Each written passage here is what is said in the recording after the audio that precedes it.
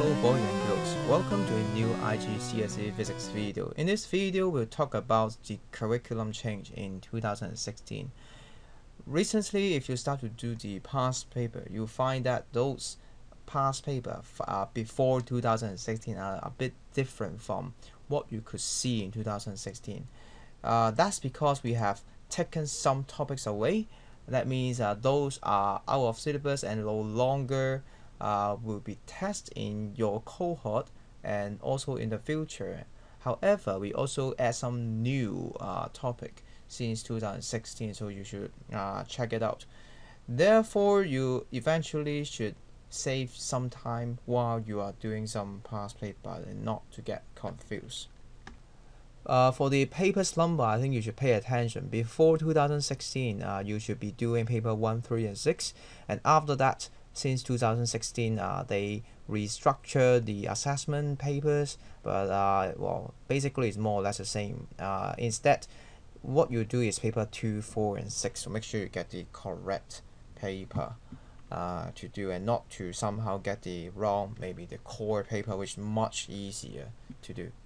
So basically they have taken away the capacitor and transistor in the circuit uh, and also take away the cathode ray which emits the electron and also the oscilloscope which is more about the waveform. Uh, instead they have added the momentum in mechanics. So here are some examples that are going to show you uh, what are out of syllabus from the past paper. So first of all uh, is 2011. Uh, here you can see a uh, transistor and it's also got a name as well. So whenever you see it, uh, just skip that. Um, and next one, 2012, you also see something like that. It's also the symbol of transistor. For a capacitor, this is a symbol for in the circuit, and sometimes it also appear in the cap, uh, in the MC as well.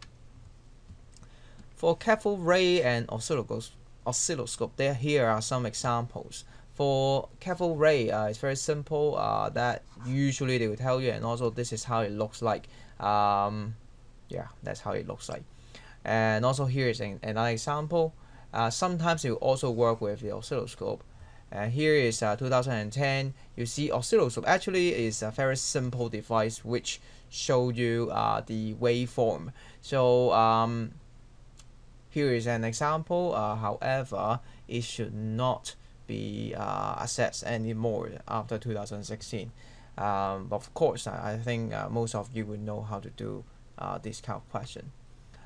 For the momentum, um, basically uh, whenever you find those questions in 2016, uh, you will find uh, a few questions uh, in both paper 2 and 4 and these are the expected well not the red one but uh, the expected content that IGCSE will want you to know, including how you define momentum with the equation of mv and also we call the equation of impulse. Um, they also stated that you should use, you should apply the principle of conservation momentum. However, they did not put down the equation, but surely uh, all of you should know the equation is uh, this one.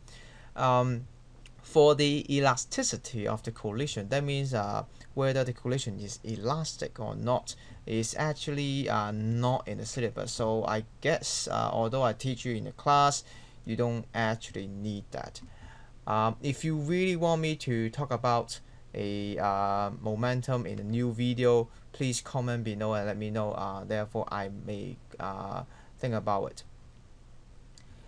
Uh, lastly, other than paper 2 and 4, paper 6 also make a change and I do think this is even um, something that you should pay attention to. And the thing that uh, they have added is something called uh, you need to plan the experiment. So in the past, there are usually four questions, and four of them, all four of them are just simply uh, doing some measurement and analyze the data. But uh, since 2016, once again, uh, you will find all the paper six. Uh, that means different time zone. Uh, no matter like which paper it is, there must be a question, and usually that's question number four, uh, which will ask you to plan an experiment. So here is an example uh, of paper 6 in 2016.